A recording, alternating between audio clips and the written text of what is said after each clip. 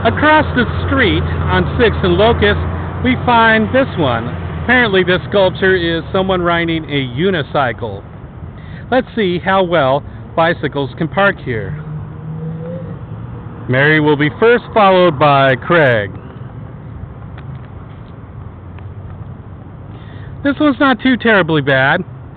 If there were like three or four of these spaced three feet apart, you could get plenty of bikes parked here, and it appears to be adequate room for this. This one gets a thumbs up. Everyone, thumbs up.